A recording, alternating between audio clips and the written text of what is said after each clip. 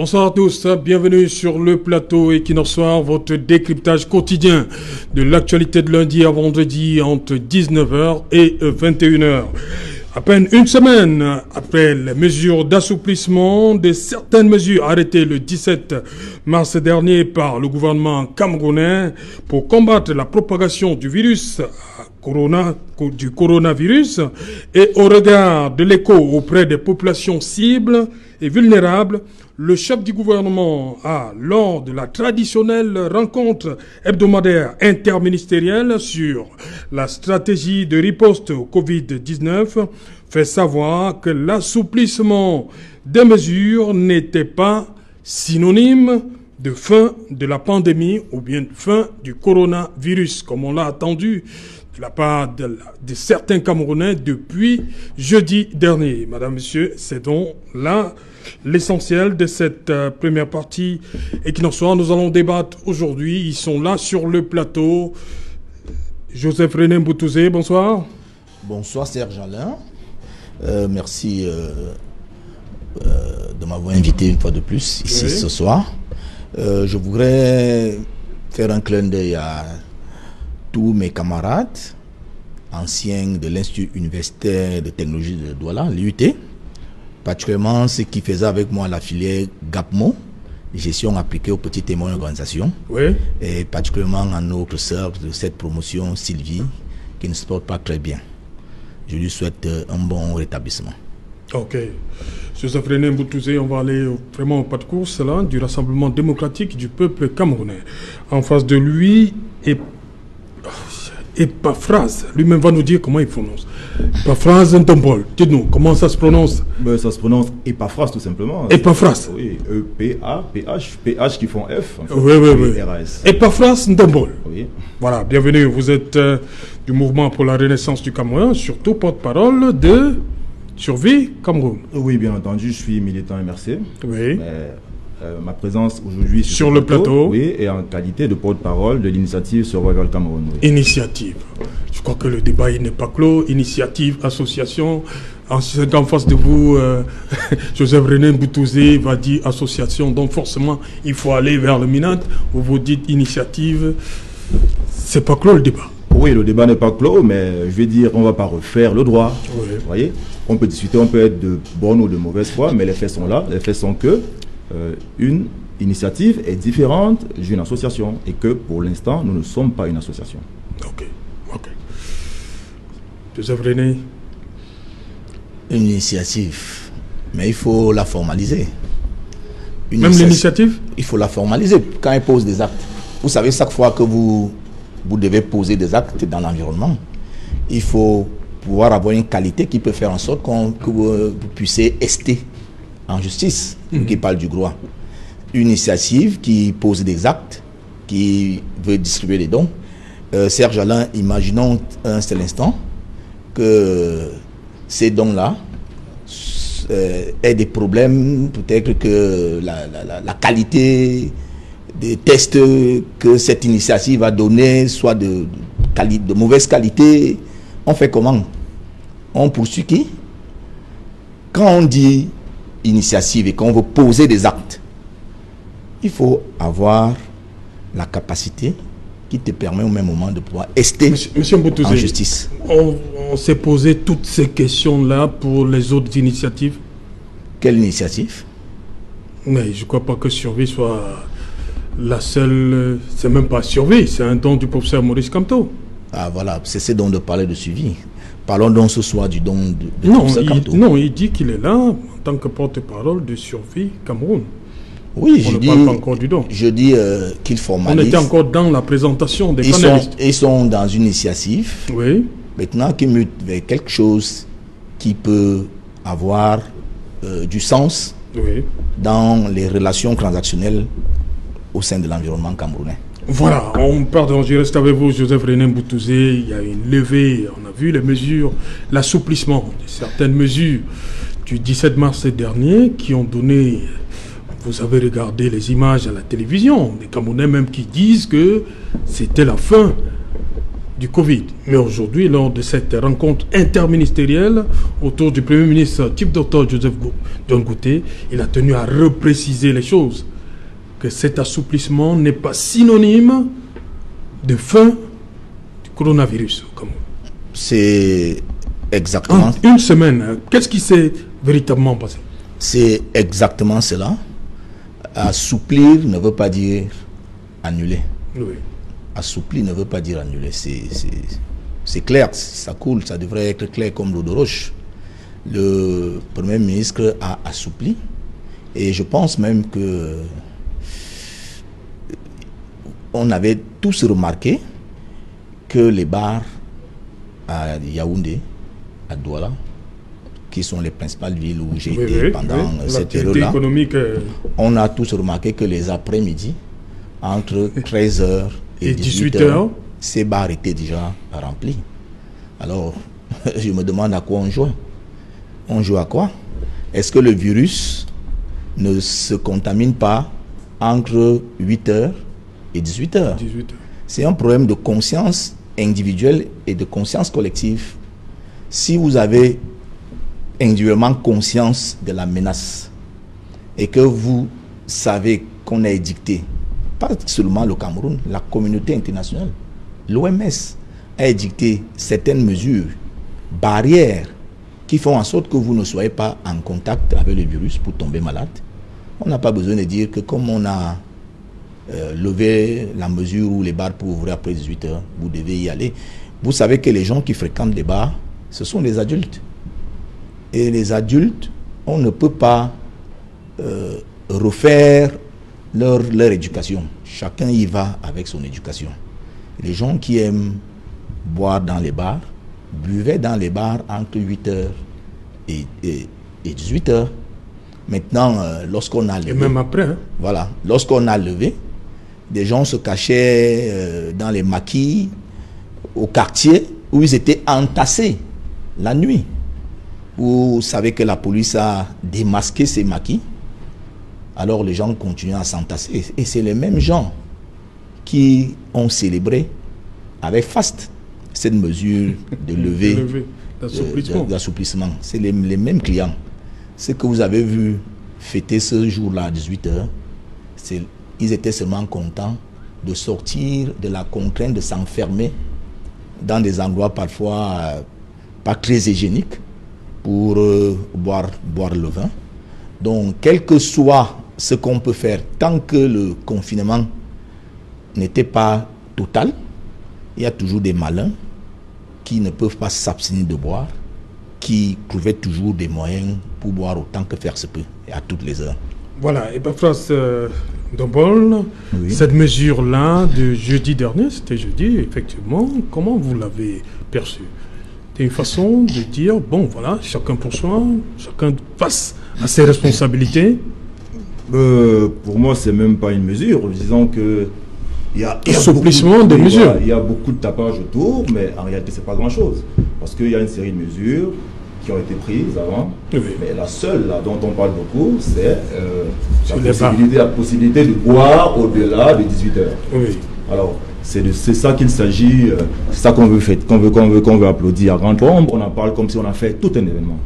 Alors, on en fait tellement un événement que moi, je suis en position de me demander, mais qu'est-ce qu'on cache derrière? C'est-à-dire, on dit, les bars, vous avez le droit désormais de boire au-delà des 18 heures, et puis tout le monde se focalise dessus. On donne l'impression que ben, le gouvernement a travaillé, il a pris la mesure de quelque chose, et puis il s'adapte à quelque chose. Mais non, le gouvernement ne s'adapte pas. Parce que, qu'est-ce qui, qui nous garantit? Aujourd'hui, quels sont les chiffres? Aujourd'hui, quelle est l'évolution euh, du Cameroun? Quelle est notre évolution? Quelle est l'évolution du Covid au Cameroun?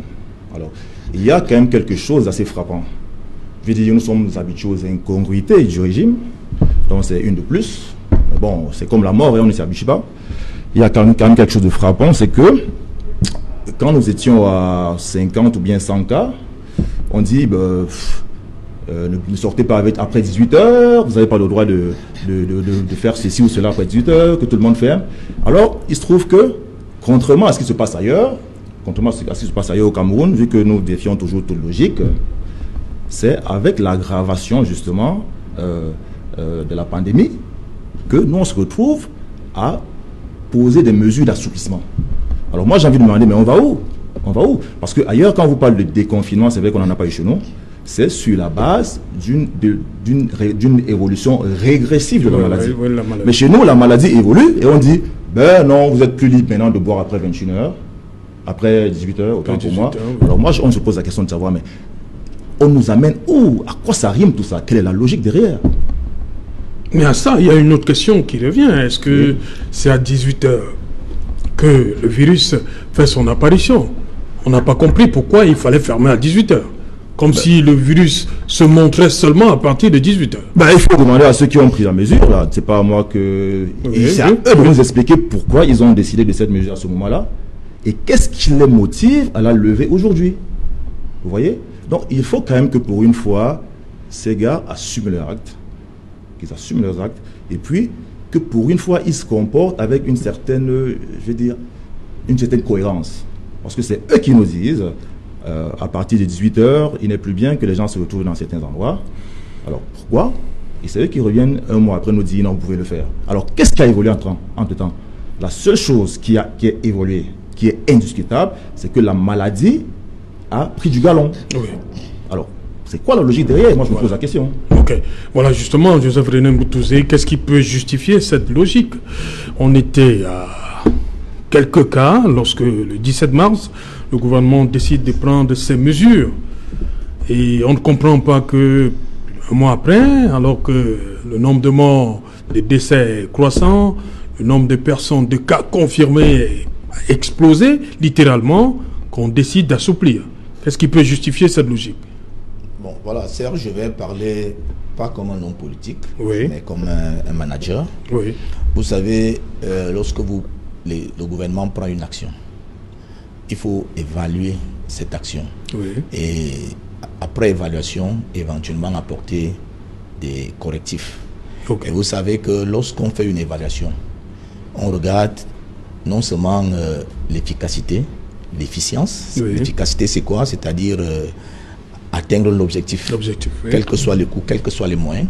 L'efficience, c'est l'atteindre l'objectif à moindre coût. Mais il y a un autre élément très important de, l'évaluation qu'on appelle la pertinence. C'est-à-dire le résultat qui est atteint doit correspondre avec euh, ce que les, les, les, juristes appellent l'exposif, ce que le juge appelle euh, euh, l'exposé des motifs, c'est-à-dire ce pourquoi la décision a été prise.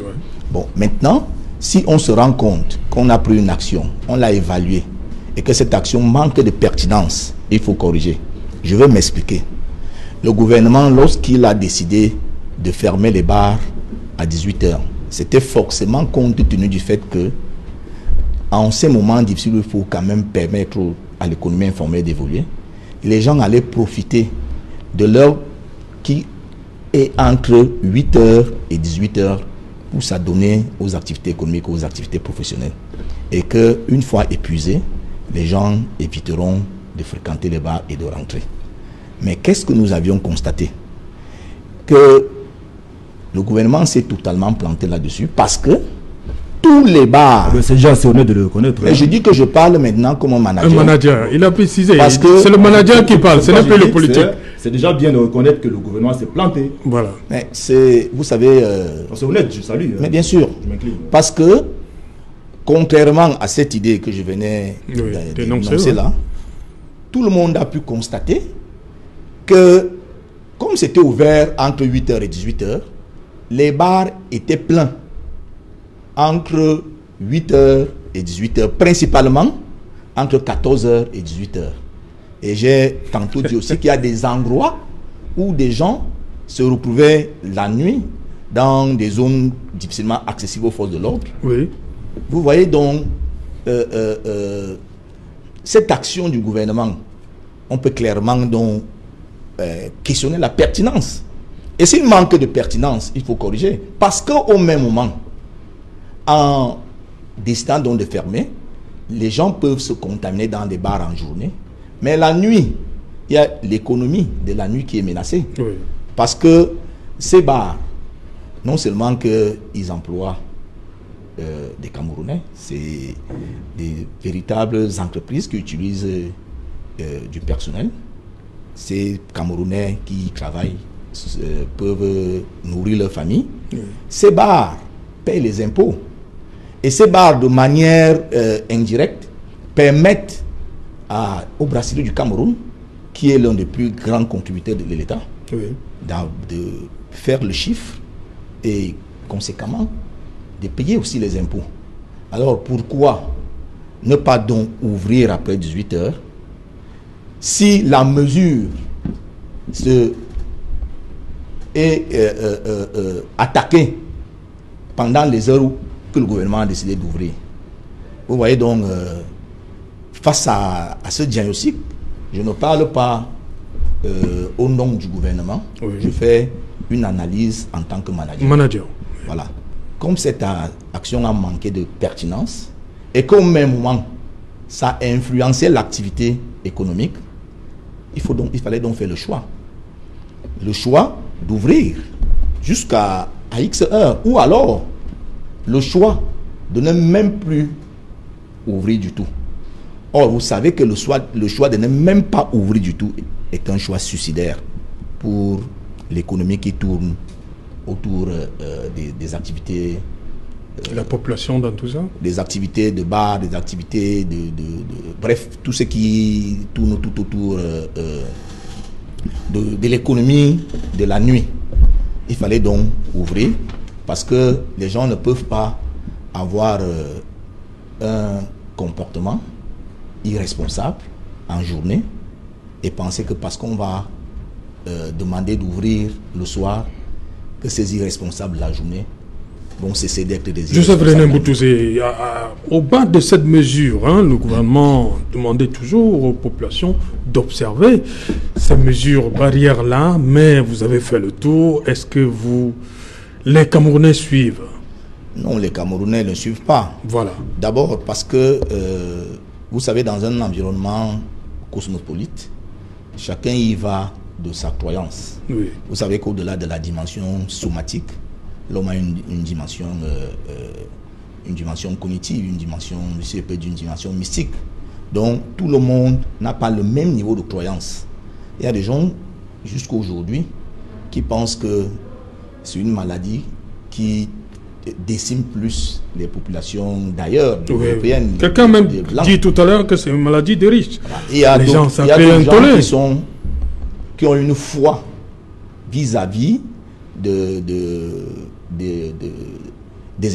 nos écorces, de ce qu'on appelle la médecine de grand-mère, de nos pharmacopées, qui sont convaincus qu'une fois rentré du bar à 24 heures, s'il a pris euh, une de ces coctions, alors le coronavirus s'est éloigné.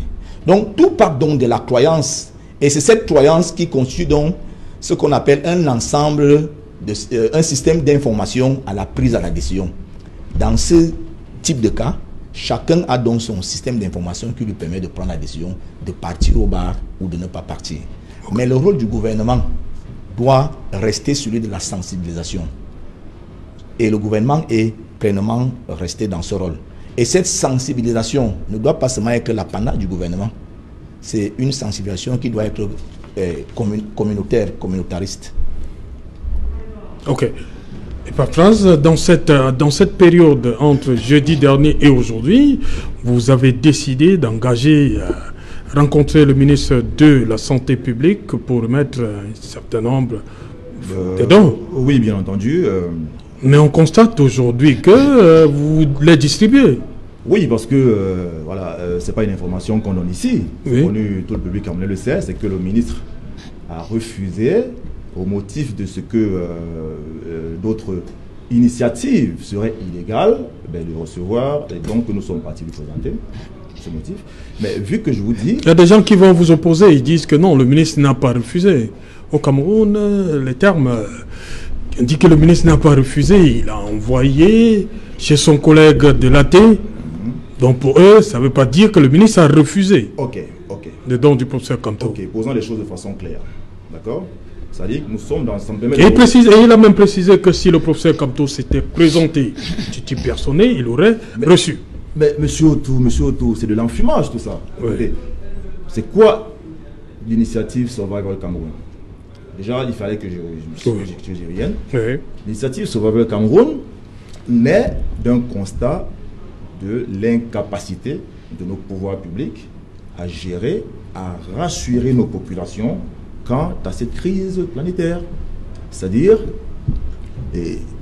qu'on soit de bonne ou de mauvaise foi, quelle que soit notre bonne ou de mauvaise foi en fonction du côté dont on se trouve, aujourd'hui, il n'y a pas de Camerounais euh, qui soit euh, établi dans tous ses sens qui puisse vous dire que le gouvernement a fait ce qu'il faut faire.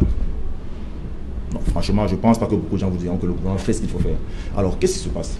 C'est là l'intérêt d'une initiative. C'est-à-dire, à ce moment-là, des personnes de bonne volonté.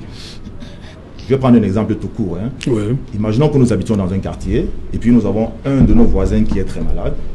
Alors, monsieur Sejan Auto, vous levez un jour, vous dites bah, Je vois Epafras, euh, tu as, si tu as 5 000, je vois monsieur Mboutou, est-ce que tu as 10 000 pour qu'on puisse l'amener à l'hôpital? C'est ça une initiative. C'est-à-dire qu'en situation d'urgence, parce que nous sommes en situation d'urgence, face à des pouvoirs publics qui sont inactifs, qui, sont, qui gèrent de façon incohérente, cacophonique cette crise, ô combien grave, parce que c'est une crise planétaire, mais il est urgent que des personnes de bonne volonté ben, s'arrangent pour apporter leur part. Pas pour limiter, pas pour, euh, je vais dire, pas pour euh, euh, arrêter, tuer complètement la, la, la, la, la- la menace, mais pour apporter leur part dans la réduction arithmétique de, de cette souffrance. Oui. C'est-à-dire, Survival Cameroun n'a pas les moyens d'un État.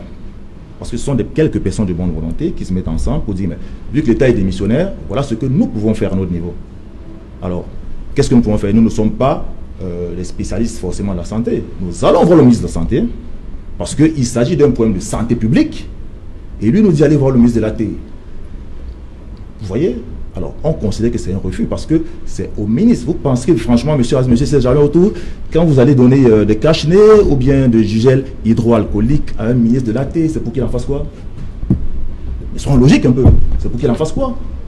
Est-ce que ce n'est pas le seul, d'ailleurs, le seul d'ailleurs, dans ce gouvernement qui essaie de faire quelque chose hein, Parce que très souvent, il. euh, il, euh, il communique sur, sur l'évolution de la maladie en donnant quelques chiffres qui sont contestés même d'ailleurs, parce qu'il y a des rapports qui viennent contester ces chiffres-là. Donc, raison de plus pour vous dire que euh, les Camerounais ne se retrouvent pas. Alors, c'est le seul qui fait, qui essaie de. Vous parlez bien du ministre de la Santé, madame. Oui, bien entendu, entendu, parce qu'il s'agit d'un problème de santé publique. Oui. Alors, si vous avez franchement de, de- de- de- un médical, un, un- si vous avez, si vous quelque chose qui a trait à, à la, à la médecine, Oui. c'est-à-dire un équipement médical, voilà, parce que Oui. les gels hydro et les alcooliques, euh, Oui, les- et puis euh, les oui. c'est du matériel médical. Mais dans quelle logique voudrez-vous vous, voudrez-vous pousser à aller en faire don au, ministère de- au ministre de l'AT alors que vous êtes une initiative? Une initiative qui vise à supporter en fait ce qui devrait être le rôle de l'État. Non, accompagner. Je préfère le terme accompagner. voilà, vous, avez- vous voulez, accompagner, vous c'est voulez accompagner. Oui, on voilà. vient accompagner, voilà. Oui. Nous venons accompagner l'État dans son rôle. Parce que c'est l'État qui, a, qui est garant Oui. de la santé des C'est populations. pourquoi vous êtes allé vers le ministre de la Santé. Et puis il nous dit allez voir le ministre de la T. Franchement, est-ce que c'est logique? Il faut il faut que il est important aujourd'hui. Il est important aujourd'hui que les Camerounais sortent de des discours creux. Des discours creux pour aller à l'essentiel. Pour voir les choses de façon claire et aller à l'essentiel. Franchement, cette diversion-là, on en a marre, on n'avance pas avec? Pour conséquence, aujourd'hui, M. Boutoula dit, Monsieur Boutoula dit, voilà un gouvernement qui se rend compte que ces mesures n'ont pas été très très opérantes, efficaces, ouais, ouais. efficaces, et qui décide, bon, ok, euh, on leur a dit euh, ne vous rassemblez plus à partir de 18h. Oui. Ils l'ont quand même fait. En conséquence, euh, le nombre de, de, de- contaminations a explosé. Alors qu'est-ce qu'on fait? On dit, mais ils n'ont pas le fait ouvertement. C'est-à-dire que vous avez un enfant qui s'empoisonne. Non, non, euh, on dit plutôt qu'on appelle les Camerounais à être plus responsables. Voilà. Non, mais plus Chacun doit être plus responsable. responsable, mais c'est un discours politique, monsieur. C'est Oui. un discours. C'est-à-dire, il vient de le dire. Il y a des mesures, on se rend compte que vous ne les respectez pas. Voilà. Alors, pour vous inviter à plus de responsabilités, on lève ces mesures. C'est un sens? Non, dites-moi, c'est un sens? Oui. Pour vous inviter à- la vous inviter plus de responsabilités, on Oui. lève les mesures. Voilà pourquoi je dis la rencontre interministérielle de ce jour. Le Premier ministre a précisé que ce n'était pas la fin. les mesures d'assouplissement n'étaient pas synonymes de fin du Covid-19. Parce qu'on a vu euh, des populations le dire. Que comment comprendre qu'on puisse lever écoutez, ces mesures Quand vous êtes un gouvernement qui ne comprend pas comment sa population fonctionne, c'est ce qui arrive. Hein. Oui. oui, quand on ne savez pas comment on fonctionne chez vous, c'est ce qui arrive. On est Camerounais, on sait que les Camerounais lèvent le coude. Hein. On sait quand vous leur dites... Euh, ça y est, et puis c'est une question de communication. Gérer, c'est communiquer. Si vous communiquez mal, on arrive à ce type de résultat. D'accord? Si ce type de choses arrive, c'est parce que le gouvernement communique mal. Bien entendu, il communique mal parce qu'il n'y a rien d'organisé, parce qu'il n'y a rien de pensé, parce qu'en en fait, on se demande qui est à la tête, qui dirige, on se demande est-ce qu'il y a une coordination? Communiquer mal, mais il y a quand même le ministère de la Santé qui fait le point tous les jours. Oui, mais monsieur, monsieur, vous êtes un communicateur, moi j'en suis pas un. Oui. Mais communiquer, c'est quoi? C'est utiliser le langage adéquat. Je veux dire, imaginez que vous soyez dans l'eau et que vous, voulez, vous voulez envoyer un message à des poissons. Vous allez crier dans l'eau? Ça ne va pas compter. Alors, c'est à eux de trouver le mode de communication adéquat pour que les, pour que les citoyens suivent. Ok, vous auriez proposé quoi? Vous proposez quoi? Ben, Pour rectifier le tir Pour rectifier le tir Oui. Vous trouvez qu'ils communiquent mal oui, déjà, déjà, déjà, déjà, il faut un gouvernement qui rassure. Oui. Parce que euh, les citoyens ne suivent pas quand ils ont l'impression que le gouvernement ne rassure pas. Oui. Voilà. Alors, le gouvernement ne rassure pas parce que, évidemment, euh, le ministre Manaouda, 8 heures après, c'est encore non, c'est pas opérant, on va. Voilà, qui commence à crier galère et puis tout ça. Donc, quelles sont les statistiques qui ont été menées par rapport à l'évolution du Covid? Est-ce qu'on peut nous dire, voilà le nombre de, de cas que nous avons, il y a tel pourcentage d'hommes, tel pourcentage de personnes entre tel, âge, tel, pourcentage de femmes. Il n'y a rien qui est fait. Il n'y a rien qui est fait. Mais les gens ne vous suivront pas quand ils ont l'impression que vous vous amusez. Aussi clair que ça. Joseph René Mboutouzé, sur la, la, communication, il dit que ça ne rassure toujours pas. On ne nous dit pas exactement qui sont ces personnes-là contaminées, les personnes qui décèdent, quel âge, parce que ça permet de peut-être mieux cerner la pandémie. de, savoir qu'il y a des gens qui tiennent compte de qui, qui sont qui sont aux baguettes. Oui, euh, Serge Alain. Oui. Euh, il n'y a pas de pays stable sans famille stable. La stabilité d'un pays comment d'abord pas la stabilité dans les familles? C'est Aimé Césaire dans la tragédie du roi Christophe. Roi Christophe. Voilà. Ça veut dire que toute la sensibilisation l'éducation, la morale commence d'abord au sein de la cellule familiale. L'État est un tout. L'État, c'est une abstraction.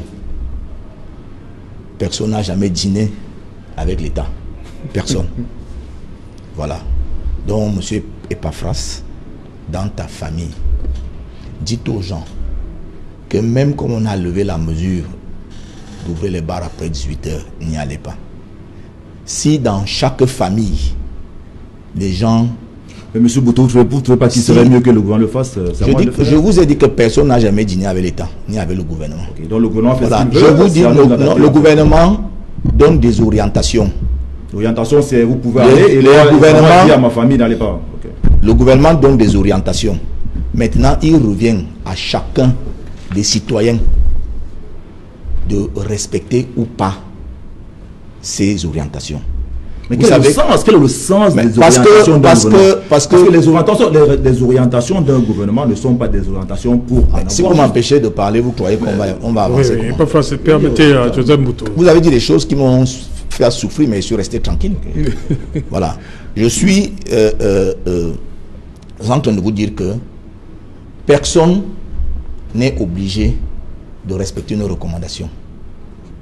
Maintenant, Lorsque vous refusez de respecter nos recommandations, vous attendez à des conséquences. Vous le savez. Le gouvernement donne des orientations, des, des, mesures. Il y a des gens délibérément qui choisissent de ne pas respecter ces mesures. Et quand vous choisissez de ne pas respecter ces mesures, c'est à vos risques et périls. J'étais en train de vous dire que la stabilité d'un pays commence d'abord par la stabilité au sein des familles.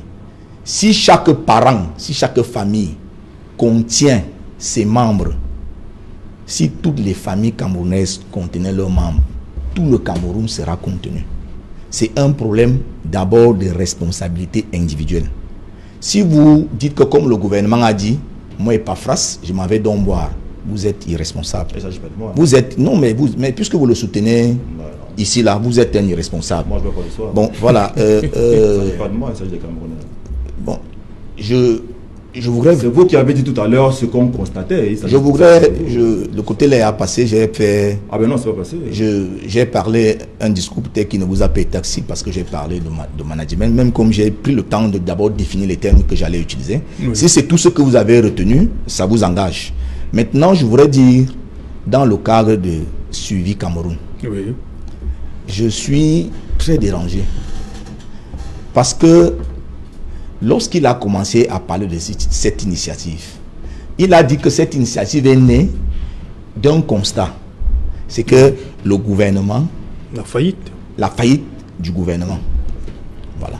Et il a continué à développer tout ce qui pouvait montrer la faillite du gouvernement. Mais au même moment, lorsqu'ils choisissent de faire des dons, ils se dirigent vers vers ce gouvernement qui, chaque fois pour eux, a failli. Et c'est lui qui, à l'entame de l'émission, parlait d'incohérence. Ça, c'est un niveau d'incohérence inimaginable. Ces jalins, euh, Vous aurez souhaité. nous, sommes, nous, sommes, euh, euh, nous sommes trois amis là. Oui. À chaque fois que on vous donne les moyens pour faire quelque chose, nous deux, nous t'accusons que ça n'a pas été fait. Oui. Vous avez détourné une fois, deux fois. C'est toujours les mêmes. euh, euh. Et puis, un jour, je décide encore de faire quelque chose de fondamental. Et puis, je viens encore te voir, Serge Alain, si j'ai moi-même la possibilité de mettre en œuvre. C'est un problème. Est-ce qu'ils avaient eux-mêmes la possibilité de mettre en œuvre? Oui. Alors, si vous pouvez vous-même mettre en œuvre cette action de distribution des dons, pourquoi vous vous retournez vers un État qui s'est manifestement, euh, euh, qui a manifestement montré sa faillite? Puisque la décision de créer cette initiative, c'était l'incapacité de l'État à continuer la crise. Pourquoi vous prenez encore ces dons à les donner à un incapable? C'est sur ça que alors, le ministre s'est basé. Non, ce n'est pas sur ça. Oui. Je voudrais d'abord relever leur, inco- leur incohérence. Oui. Je voudrais d'abord relever leur incohérence. Ça, c'est de l'incohérence. Deuxième, deuxièmement, euh, euh, euh, Monsieur Epafras, nous avions, euh, sur ce même plateau, commenté une circulaire du ministre de la Santé Oui. qui s'était opposé que c'était une formation médicale Oui, oui. qui voulait aider les Camerounais utiliser le scanner comme base de diagnostic du Covid. Et je crois que ces euh, hôpitaux, ces hôpitaux, ça donnait au scanner parce qu'ils n'avaient pas de test. Mais si Survive Cameroun prenait ces diagnostics que d'aller donner à un État en faillite, allait directement donner à ces hôpitaux. Le ministre n'allait pas venir interdire aux hôpitaux d'utiliser des réactifs. Puisque chaque fois qu'un hôpital ou bien une clinique achète un réactif, par exemple pour tester le sida, il ne parle pas d'avoir demandé la permission au ministre. Il prenait donc les 950 réactifs et les donnait aux multiples euh, euh, officines qui veulent bien aider les Camerounais. Et ça permet de décentraliser les tests. Mais, mais, je ne comprends pas. Joseph- ils, Joseph ont, Boutou. ils ont toutes ces possibilités. Joseph Boutou. Ils les laissent, ils s'en vont donc voir le ministre. Pourquoi Cela le ministre ne leur a pas dit que non, allez plutôt cela donner relève, donc cela à, à relève- ces entreprises cela relève purement et simplement de la provocation. Provocation? Provocation. D'abord, euh, j'ai même une idée derrière. Oui. Parce que au même moment, on a vu des cartons que M. Kamto a donné à M. Pendekoka. Moi, j'ai compté ces cartons, il y avait quelques 7 ou 7 cartons. Or, lorsqu'on nous a euh, dit le les, les matériaux qu'il y avait dedans, je me suis demandé tout ça, 10 000, 10 000 masques et 6 000 euh, masques chirurgicaux suffisent dans cette carton. Moi, je suis allé dans mon village apporter des masques aux gens de chez moi. J'avais 500 masques. Tout ça a dû prendre une valise. Tout ça a dû prendre une valise. N'importe qui peut euh, essayer demain les masques faits en tissu. vous les mettez, vous prenez 500, il faudra une valise. Alors comment 10 000 masques en tissu? Et 6 000 masques où il faut maintenant faire des emballages dans des cartons avant de mettre dans les gros cartons Comment tout ça pouvait seulement suffire dans le petit paquet que nous avions vu quant au Dona Pendecoca On peut croire que tout ça, c'était pour embrouiller les Camerounais et embrouiller les donateurs. Parce qu'ils savaient pertinemment que le gouvernement allait refuser. Comment ça Et du coup, Et pourquoi le gouvernement non, les je- parce que vous faites de la, parce que vous faites de la, logique parce que vous faites de la, dans ce refus du gouvernement parce que vous qu'est-ce que faites, logique parce que le gouvernement allait, bon, même pas que, encore que, oui, mais- encore que le gouvernement n'a même pas re- refusé, hein. Le ministre de la Santé vous a dit, Ah ben, euh, allez, euh, euh, choisissez quelque chose. Le- Vous savez que le gouvernement l'a refusé. le ministre refusé, de la Santé vous a dit, allez voir le ministre de l'administration territoriale. Vous savez, les, les- le- les tâches sont partagées au sein du gouvernement. Même en période de crise, on peut même dessaisir euh, euh, certaines attributions d'un ministre qui est donné à un autre. Ça, c'est de la responsabilité du gouvernement dans l'organisation de son action. Et le ministre de la Santé vous a dirigé vers la bonne personne, vous n'êtes pas, pas allé. Donc, euh, d'abord, cessez de dire que le gouvernement a refusé. Et maintenant, c'est revenons vous même, qui avez dit tout à l'heure que revenons même, que le reven- refuserait. hein. revenons Vous même, dit, revenons même sur, vous revenons même, revenons même sur, revenons même sur l'initiative. Vous savez, lorsque vous faites appel à l'épargne publique, lorsque vous faites appel à l'épargne publique, ça devient de l'argent public, ça devient des finances publiques. Et ces finances publiques doivent être contrôlées par les autorités publiques compétentes. Oui. Et- Maintenant, si dans le cadre euh, d'une association, d'une famille, vous faites euh, euh, appel à vous faites appel à, à- à- à- la euh, vous faites appel de fonds à, un lever de- à une levée de fonds, vous devez vous soustraire à l'obligation de contrôle de l'action publique. Vous devez vous soustraire à ce contrôle. Mais maintenant, si le MRC, qui a déjà... que le gouvernement a proposé Si le de MRC contrôler cette action? Il y a des contrôleurs fiscaux. Ils auraient pu. Vous, vous savez, Ça c'est- parce que vous êtes d'abord parti sur une base illégale. Si le, le- Une initiative si n'est le jamais président illégale. M- Une initiative n'est jamais illégale. vous savez, laissez-moi aller jusqu'au bout. C'est une initiative, c'est pas Vous illégal. me- ce vous n'est pas, ce n'est pas une Il y a des choses on- nous voulons dire au Camerounais, mais quand vous faites comme ça, on ne peut plus être. Non, mais cohérent. dites sur les bases illégales, je, suis, pas je suis en train de vous dire que il fallait aller sur les bases légales ou alors rester C'est-à-dire dans un cadre purement communautaire. Parce que le parti politique qu'on appelle le RMC, l'État lui a donné en, en, a- en aval. Si on va voir le Cameroun, c'est pas le MRC. L'État lui a donné en aval. Mais puisque parle- c'est le président du MRC, le président du MRC. n'est pas qu'un homme politique. Il est un citoyen aussi.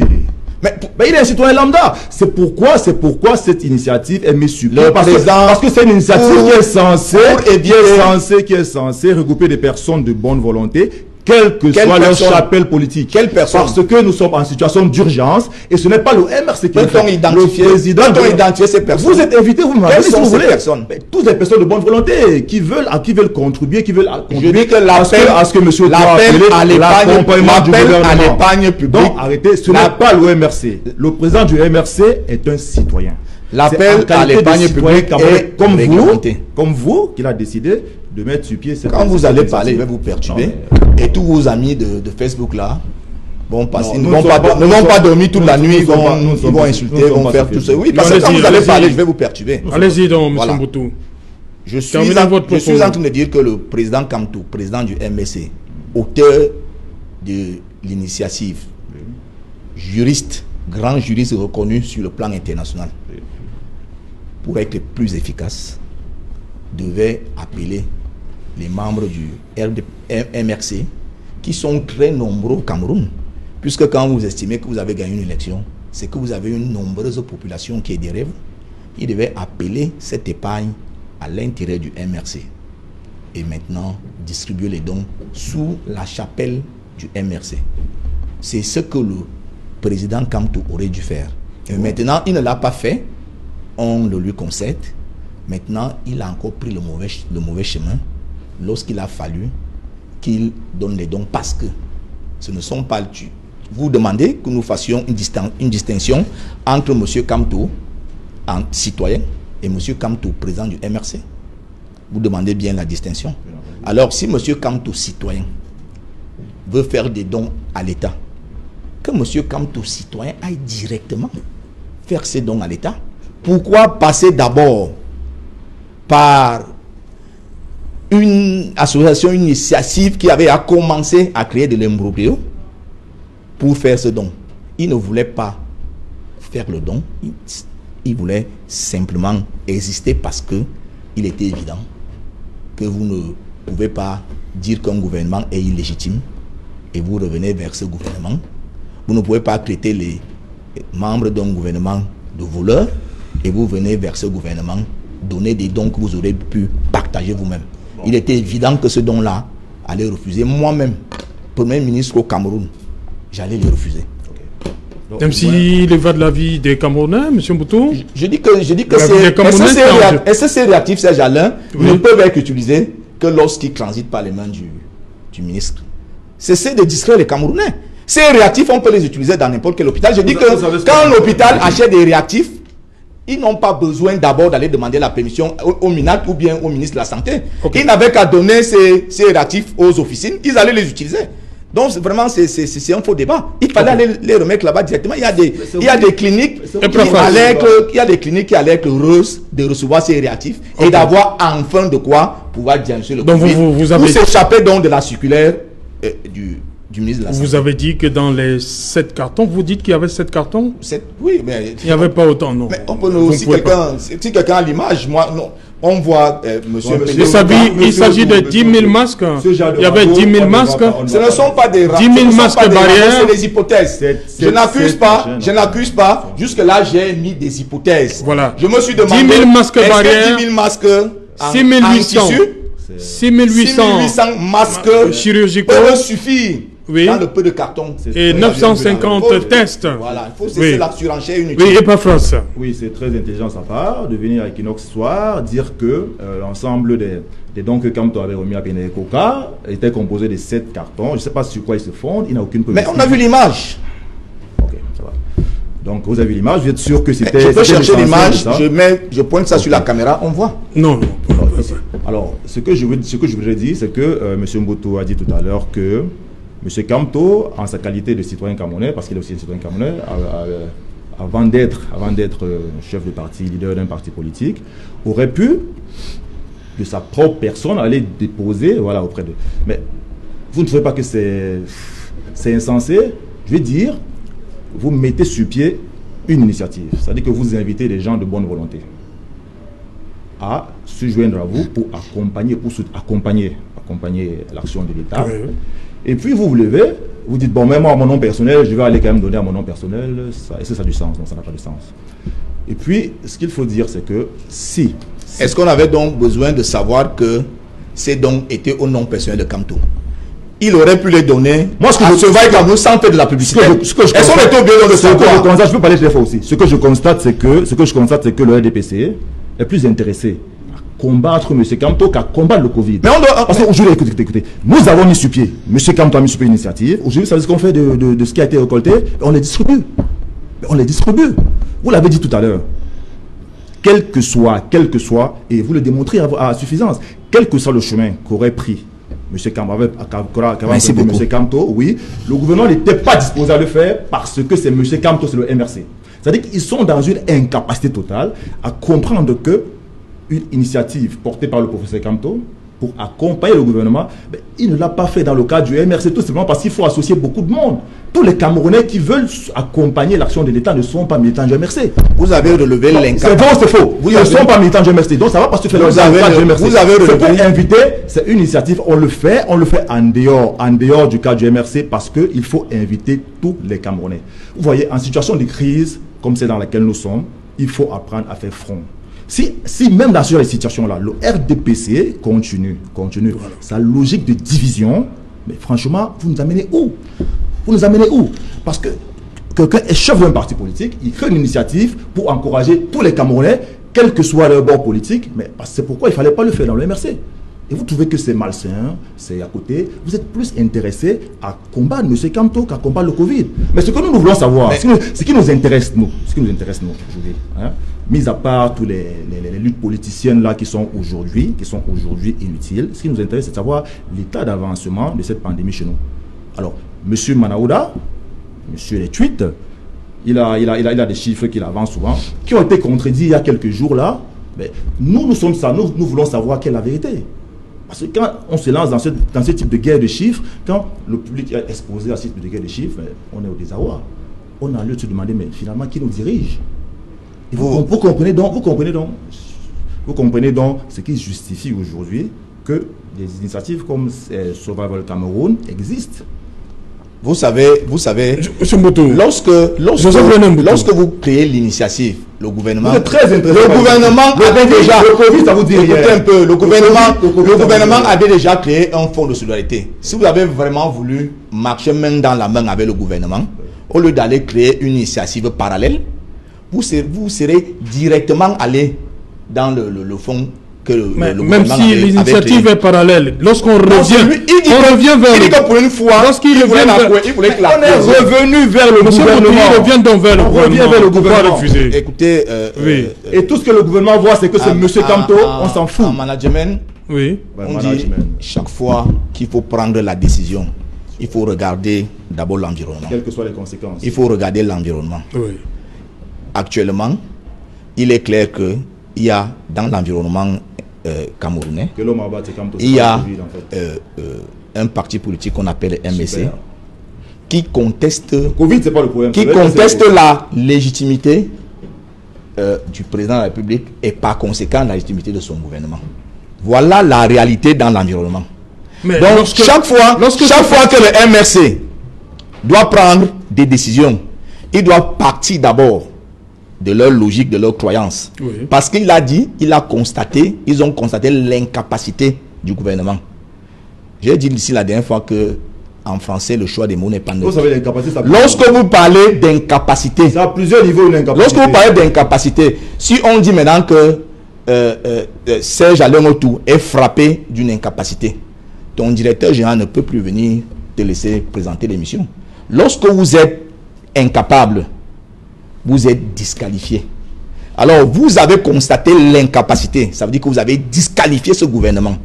Vous faites donc des dons. Et vous reprenez ces dons que vous allez donner à un incapable. Est-ce que vous-même vous trouvez que vous êtes cohérent? Voilà, on va continuer après. Vous On va continuer- répondre? Non, mais, euh, enfin, regardez, on va continuer après le journal. C'est promis. Le temps d'aller rencontrer Cédric Nouffelé parce qu'il est déjà là. Bonsoir Cédric, au menu ce soir. Bonsoir Serge Alain, bonsoir à vos invités. Ce soir, nous parlerons de la démarche de l'opération Survie Cameroun après le refus du ministre de la Santé publique de réceptionner leurs dons. Ils se sont tournés vers le ministère de la Justice. Ils entendent ainsi distribuer ces dons en matériel médicaux et autres équipements de protection euh, dans les prisons. Quelle est la démarche utilisée cette fois-ci auprès du ministère de la Justice? Vous les écouterez dans le journal de 20h. Ce soir, un grand reportage dans la région de l'Ouest, devenu l'un des foyers les plus importants depuis la survenue de, cette pandémie du coronavirus, le Noun, où de nombreux cas positifs ont été enregistrés, devenu un casse-tête aussi pour les autorités en raison du non-respect de certaines règles, euh, notamment les mesures barrières et le port des euh, masques sans compter les rassemblements qui continuaient d'être observés, comment les autorités à la fois locales et administratives se sont mobilisées face à ce relâchement dans le respect des mesures barrières. Nous en parlerons ce soir, Serge Alain. Nous évoquerons également la grosse inquiétude de l'hôpital Akentini de Douala, hôpital agréé Covid-19, qui ne reçoit plus les malades qui viennent se faire consulter pour d'autres pathologies. L'hôpital s'inquiète, ses caisses sont presque vides. Vous écouterez ce soir le directeur de l'hôpital La Quintini confirmer l'enquête menée par Equinox en télévision sur la situation dans certains hôpitaux publics agréés Covid-19. Et ce soir, Equinox Télévision rend hommage à l'une de ses meilleures animatrices, Florazé, qui s'en est allée il y a quelques semaines, la mobilisation du personnel d'Equinox Télévision, la délégation officielle, le président directeur général Séverin Tchonke et une foule immense de fans d'Equinox, de fans de Florazé, qui comptent l'accompagner jusqu'à sa dernière demeure. Vous verrez ces images dans le journal de 20h, séquence émotion et témoignages édifiants. À suivre ce soir. C'est Alain. Voilà, madame, monsieur, c'est donc la fin de cette première partie Soir. On se retrouve après le 20h de Cédric Nouffelé pour Soir. Deuxième partie, ce sera le temps du débrief. Nous serons toujours en compagnie de Joseph René Mboutouzé et des Epaphras Dombol, voilà, du mouvement pour la renaissance du Cameroun, porte-parole, l'initiative Survie Cameroun, Survival Initiative. Tout à l'heure, ce sera donc dans le débrief. Madame, monsieur.